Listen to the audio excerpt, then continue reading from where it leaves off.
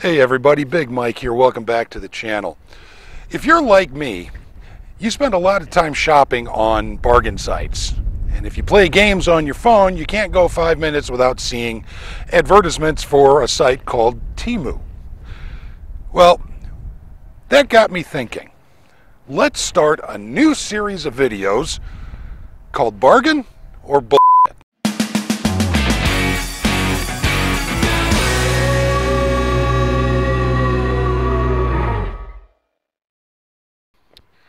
Late at night. You've just spent eight hours or nine hours at work. You're coming out to the parking lot, which looks kind of like this. Because you were the one that had to close the shop that day. Maybe it's dark. Maybe it's rainy like it is today. Maybe it's snowing if you're up there in the north. The point is, it's miserable out. And you notice something doesn't seem quite right about your vehicle as you approach it. You come around the driver's side, and then you find this. Or you're driving down a rural road and the tire has slowly been letting out air during the drive, and all of a sudden you hear that wump, wump, wump, wump, wump that tells you that you have a flat tire. You pull over, and sure enough, there's your tire flat as a pancake on the side of the road. Do you really want to get out there and kneel in the snow and sweat in your jacket and run the risk of getting pneumonia while you're trying to put a donut on a vehicle and Maybe you're not strong enough or you don't know how. A lot of people don't know how to change a flat tire nowadays. So you do what everybody else does. You call roadside assistance. And then you can sit from two to five hours on the side of the road with a flat tire, waiting for that vehicle to come and help you. Or you could try and re-inflate that tire. The compressor we're going to be testing is manufactured by a company called EAFC. I can only assume that FC means from China.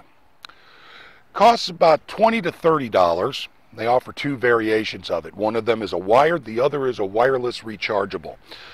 I recommend going with rechargeable at any given time. Just gives you a little bit more freedom. Now, according to the page, this can be used to refill sports equipment, vehicles, bicycles, motorcycles. And when you receive the package, they do give you a nice kit. You've got the actual compressor. You have a charging cable that's about three feet long and it has a red and green LED on the charger so you know when it's charging. And the green light comes on when it's fully charged. It has a liquid crystal display on the head and it's a three button operation. You have a reset button, a plus and a minus to help set the desired pounds per square inch on whatever it is you're filling up.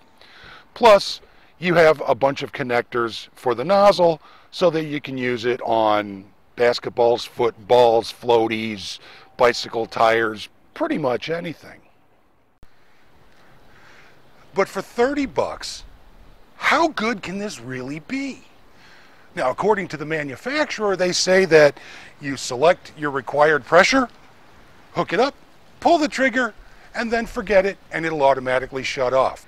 Well, fortunately for you, and unfortunately for me, we've got the perfect way to test it. This past weekend, I had four brand new tires installed on my truck, and three days later, I came out to this. So, let's hook this thing up and see how well it works.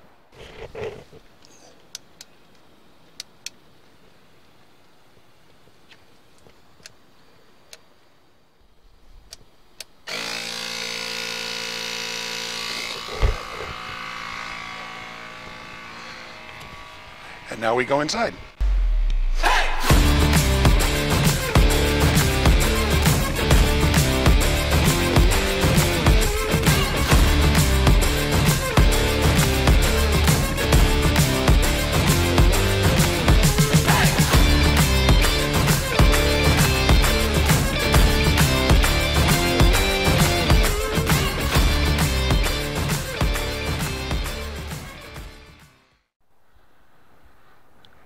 Keep things in context, the size of the tire we just filled is a 265-70 R17 full-size GM truck tire. Tire was brand new. It took about 13 minutes for it to fill up that tire to 34 psi, and that used about a third of the total battery power in our little compressor. Now I went around and then also topped off the remaining three tires and still had plenty of power left in this thing for anything that might come up next. But you know what? I'm one of those people that trust but verify. So I grabbed my little tire pressure gauge, went around to all four tires, checked the pressure after about an hour, and it was within one or two pounds of the 34 psi that this thing was dialed into. So, assuming that I have no slow leaks on my brand new tires, this thing fills up to the required psi within a pound or two. That's not too shabby for under $30. But you know what? I don't really think we've put this through the wringer enough to say whether this is a bargain or not. So, we need to think of something else that will really kind of test this thing to its limit.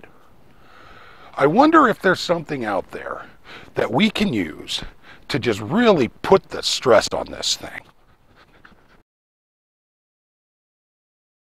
Okay, full disclosure, don't just sneak over to a neighbor's house and start messing with their stuff to test your theories and film a video. I did get permission from my neighbor's wife to be able to come over and do this. This is a full-sized off-road tire on a Jeep Liberty. So we're going to see how well this little bad boy does against this. Now, prior to the test, I did fully recharge this because I wanted to gauge how much battery power it's going to take to fill up this full-sized off-road tire to 34 psi. So, we're going to hook it up, dial it in, and let her go.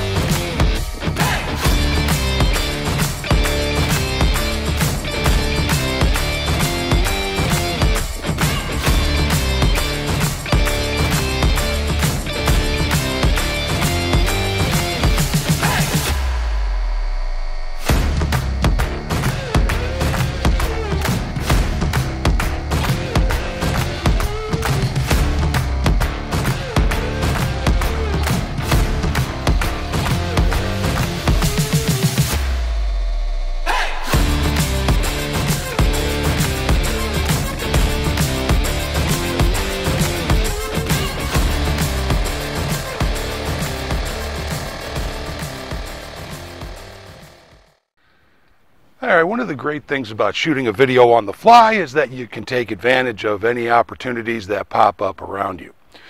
One of the negatives is that you don't get a chance to do all the research you should do prior to shooting.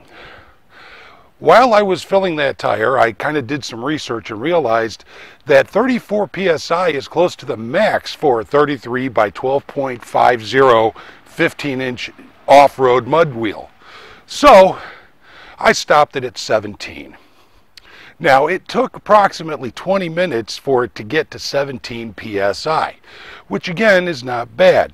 I verified it with my gauge and discovered that again, it took about a third of the battery power to get this heavier duty tire up to 17 psi. So, it can handle the heavy duty tires like the mud tires on a Jeep. It can handle full size tires on a full size GM truck.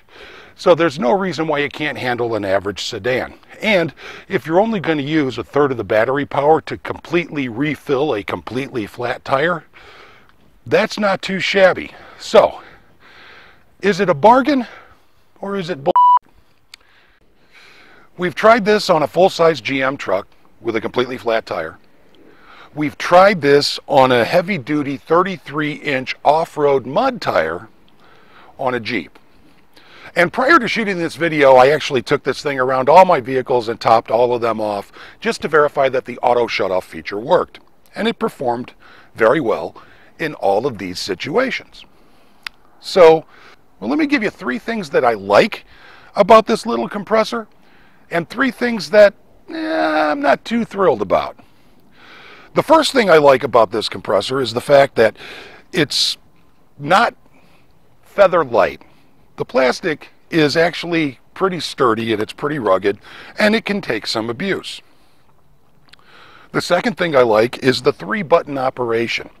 It doesn't require much of a learning curve to learn how to get this to work and use it properly, even with translated Chinese instructions. The third thing I like is the fact that the batteries are pretty good quality. They hold a charge for an extended period of time. When I started shooting the video filling up the truck tire, this thing had been sitting for about a month in the back of my truck and had not been charged. And it still had a full battery. So that was impressive.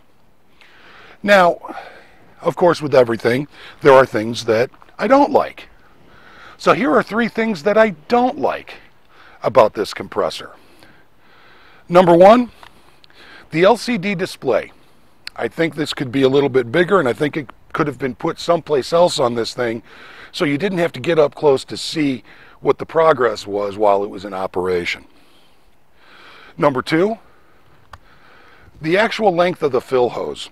I think this should be about another foot longer. That way, no matter where your valve stem winds up when you get a flat tire, you can set this on the ground and connect it with ease and not worry about having to stand there and hold it for 20 minutes while it fills the tire. And that brings me to the third thing. The stability of this thing on the ground, if you lay it flat, you're fine. So if the valve stem is up high, you can put it on top of the tire, provided there's room. If it's low, you can set it on the ground. But it's not really stable. Even with the battery all being inside the handle here, it's still very top heavy and can fall over. We saw that in the actual test. I think the base could have been manufactured a little wider to offset the height so that it actually sat more stably on the ground during the process of filling the tire because as this thing vibrates, it has a tendency to flop over. So those are three things that I like and three things that I don't like about this little compressor. So after all that, is this a bargain or not? Well, let's use our three main criteria to determine that. Number one, ease of use. Is this easy to use? And the answer is yes. The three button controls plus the lever pinch connector on the end of the hose makes this very easy to use. So that one wins. Versatility. How versatile is it? Well, with the kit that you get and the myriad of connectors that go into this nozzle, you can use this on cars, trucks, vans, heavy duty vehicles and sports equipment, floaties, air mattresses, you name it. So definitely wins in the versatility category. Economy. Well, I think we can agree that that's a no-brainer. For under $30, you're getting a compressor that holds a charge, does the job, does it well, and can fit conveniently in your trunk or your back seat. So I definitely think we can call this a bargain, despite some of the shortcomings I pointed out earlier. Well, that's going to do it for us here on this product review. Thank you very much for joining us. My name is Big Mike, and we'll see you in the next episode. Bye.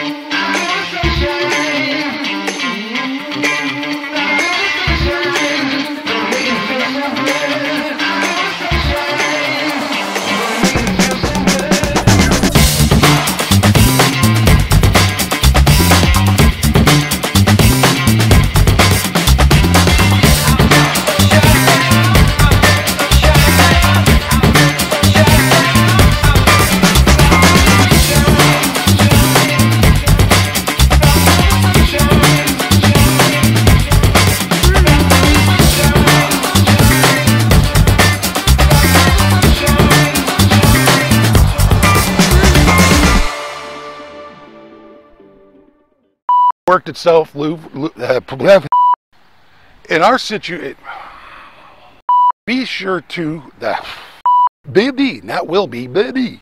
Hanging out with the granddaughter, I started talking baby. Jesus. Before you get roadside assistance vehicle. Description page here says that this vehicle. Wow, I cannot talk today. I am all about making it work. Besides, my granddaughter's coming over and I got shit to do.